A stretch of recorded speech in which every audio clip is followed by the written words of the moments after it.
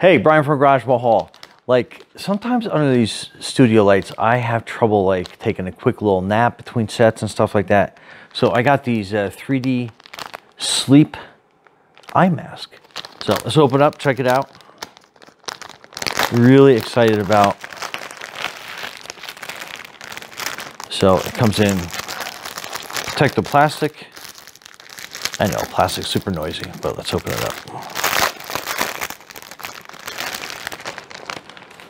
So that is your mask, and it's got like this cool little super, super soft foam and like these little eye pockets in there. So it has a strap that you can adjust it. And uh, let me put that on.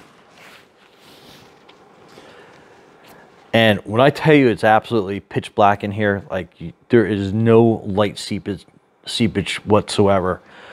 So that's really cool. And uh, oh yeah, Brian from Garage Mahal. Thanks for watching and uh, good night.